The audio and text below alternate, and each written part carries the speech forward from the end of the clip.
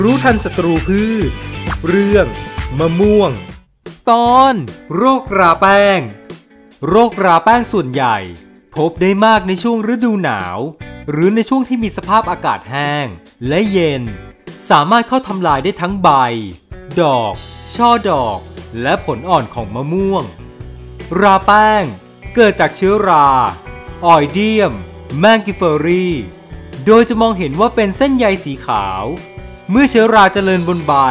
จะมองเห็นเป็นรอยของราแป้งเป็นหย่อมๆ จากนั้น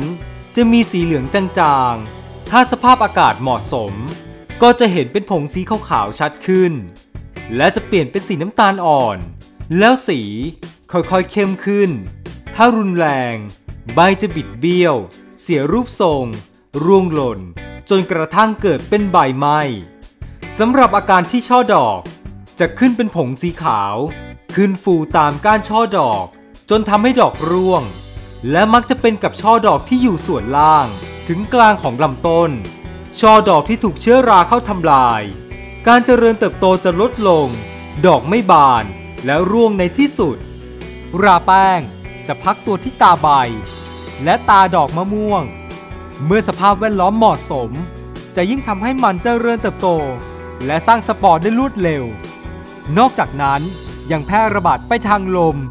ในสภาพอากาศแห้งและเย็น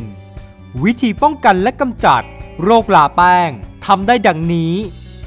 1. มันสำรวจแปลงมะม่วงอยู่เสมอ หากพบเชื้อราในปริมาณน้อย ให้ตัดส่วนของมะม่วงที่เป็นโรคเผาทำลาย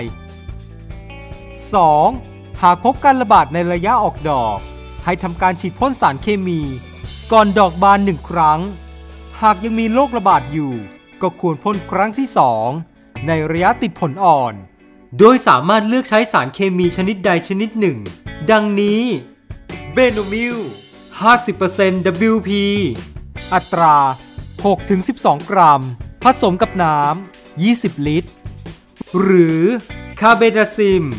50% WP สารเคมีชนิดผงละลายน้ำ อัตรา 10 ถึง 12 กรัม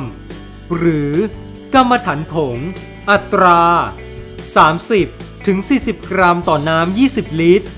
ที่ผ่านมาคือเจะปัญหาเรื่องลาแป้ง แต่เมื่อทำตามวิตามวิธีที่แนะนำมา ก็จะก็ได้ได้ผลดีแล้วก็ทุกวันนี้ผลผลิตก็ดีขึ้น แล้วก็ขายได้เงินได้ทองมามากมาย